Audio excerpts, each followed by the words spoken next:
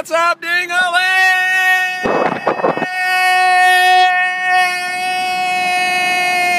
Hey, people.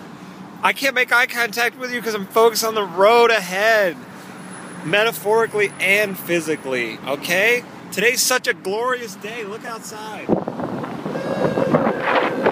You can be anything you want to be, kids. I was just so excited. New things are happening. I feel like I was sick for a long time. I got strep throat after strep throat. And I experienced heartbreak for the first time, but not the first time. And now I feel like I'm, I'm emerging from this funk. There's mountains up ahead. Today, it's Thursday, but I felt like it was Friday, and now I feel like it's this whole new type of day that hasn't even been invented. Maybe it's day, or day, or day. And what that means is every day can be that day. Every day is a new day. Every day you can wake up and you can put on whatever persona or mental space you want to be encapsulated by that particular day.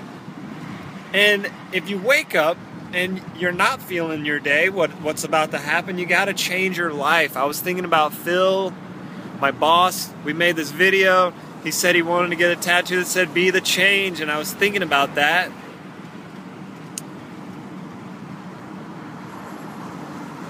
Changes everything. If you don't change, you're dead. You're dying. If you don't change your mind, if you don't constantly try to keep pushing the boundaries of yourself and your personality towards the positive or towards any side, trying new things, even if things don't work out, you got to keep changing and trying.